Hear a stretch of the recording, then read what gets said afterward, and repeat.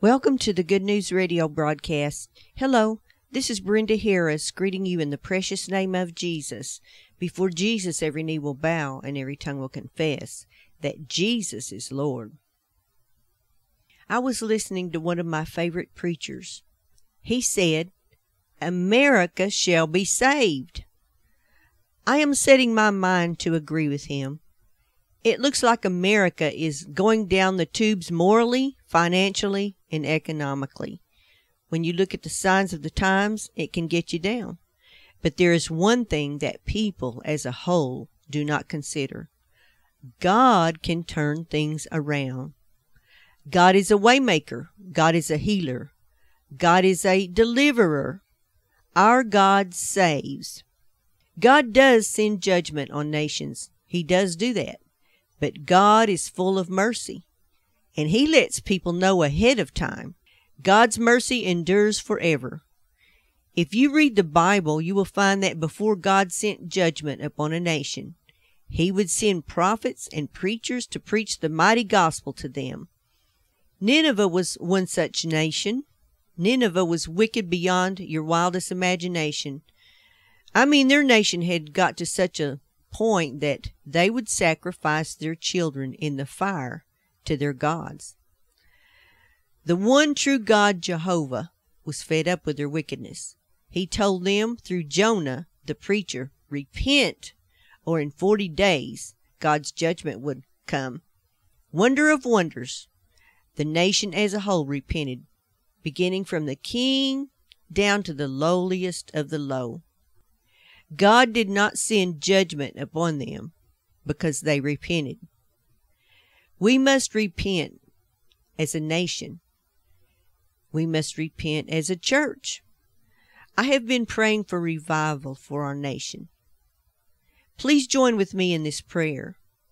God said that He would answer when two agree together. This is a good prayer. This is an appropriate prayer. This is a wise prayer. There is nothing wrong with this prayer. Pray to God every day for revival, and He will send it. There are those who say that we are in the last days. And we are. One of the signs that we are in the last days is when Israel became a state in 1948. But God can still send us a mighty revival in order to spread the gospel to the whole wide world. God's desire is to save souls. That is God's deepest desire. He wants His creation to be saved from hell and the devil. Agree with me today America shall be saved. I love to say to God, Thank you for parting the Red Sea. God parted the Red Sea with a mighty puff of His mouth. The wind swept across the sea and parted it for the children of Israel. That allowed them to escape from their enemies. What a mighty miracle!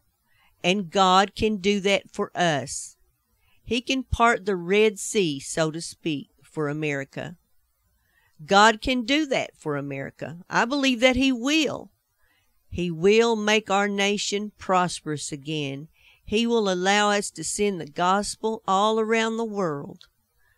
We will be a nation that is set upon a hill as a great light to the world.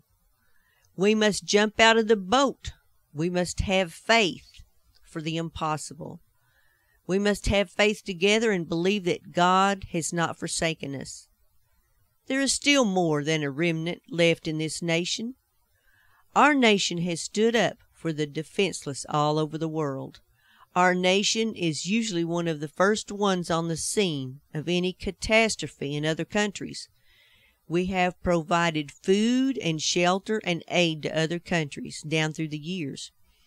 God will not forget that. God will bring that back as a great harvest to our nation once again.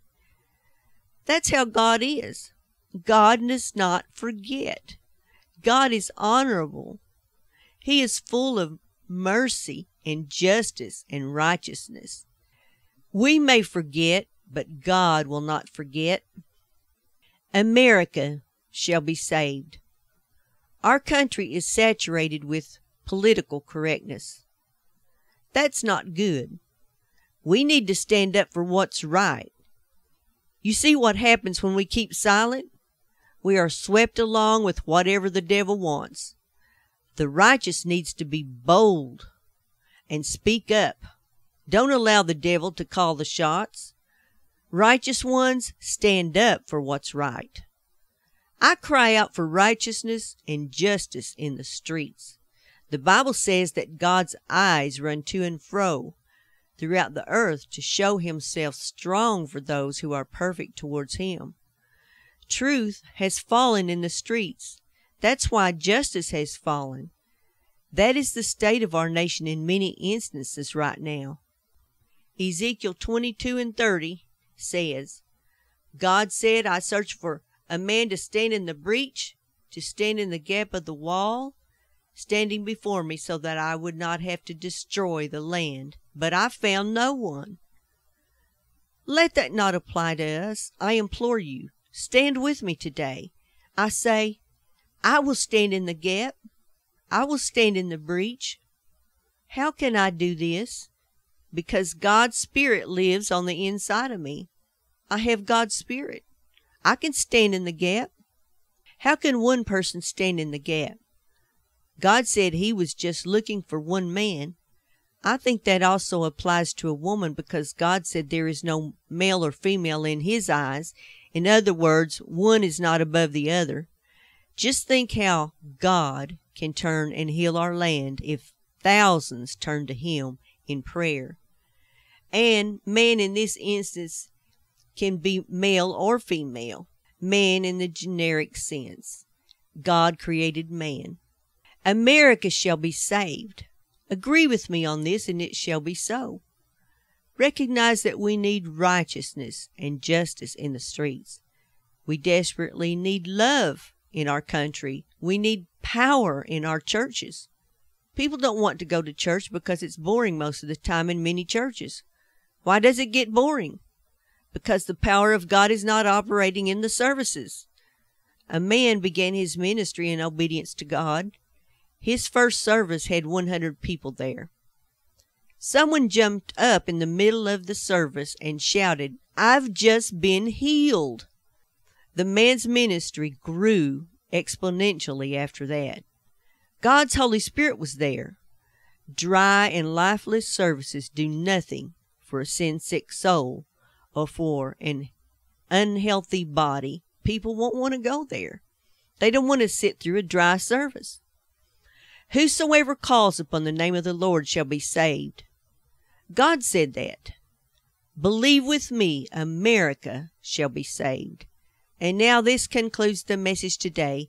Again, this is Brenda Harris, blessing you in Christ's name. May God's face shine upon you and show you his great favor.